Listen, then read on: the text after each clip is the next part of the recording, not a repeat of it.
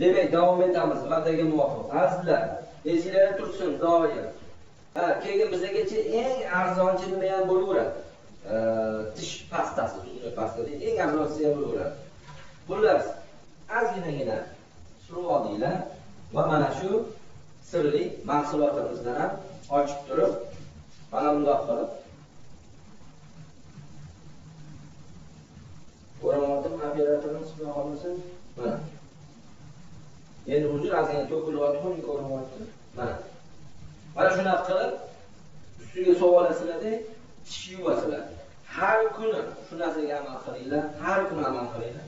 Xudo xohlasa yana bir bor sizlarga aytaman mutlaq tish shifokoriga bormaysizlar umringlar davomida. Tishlar baquvvat milt baquvvat olma nok yesanglar tishlar qonamaydi issiq suv sovuq suv ichsanglar bu muzdek suvni ham sovuq suv deyapman ichsanglar ham tishinglar zing'illanadigan bo'ladi. Agar karies boshlangan bo'lsa joyida to'xtaydi hop ayniqsa yosh bolalarimiz juda qiynalishadi shirinlik ko'p yeb qo'yishadi. Yosh bolalarimizga ham shu narsani qilib bersanglar har kuni kechqurun shu odatlansa ular ham tish qutlashidan e, to'xtaydi ho'p endi bunga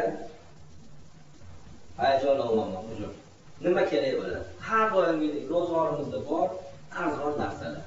Ya'ni tuz changi soda va o'zimizni har doim sizlarga tavsiya qiladigan kurkum endi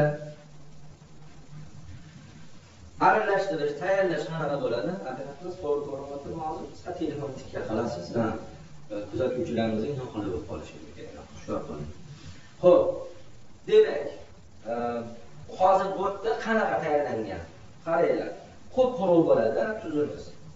Deylik mana mana shunaqa idishni uchga bo'lib olasizlarda mana bir tuz chayniy soda keyin kurkum ko'p emas mana.